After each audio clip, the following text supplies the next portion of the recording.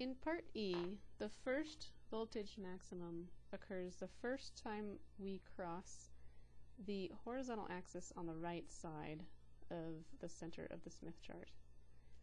So here's ZL again.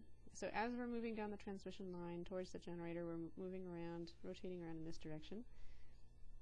So we get to that point here, we rotated that far. And so we have to read off using wavelengths towards the generator scale. Here it's 0.338, we've had that a few times.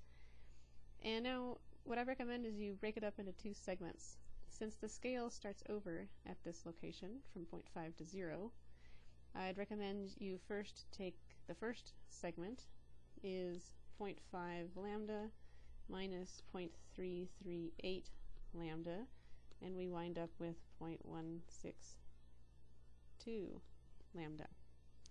And then for the second segment we go from 0 since we're starting over 0 to 0.25.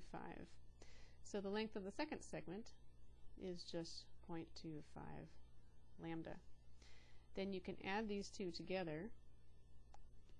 Total rotation or the total distance is 0.162 lambda plus 0.25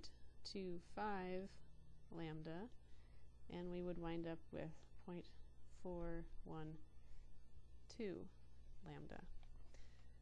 And you can leave your answer in terms of lambda since we are not given a value for lambda or the frequency, we can't figure it out. So we can leave it then in terms of lambda.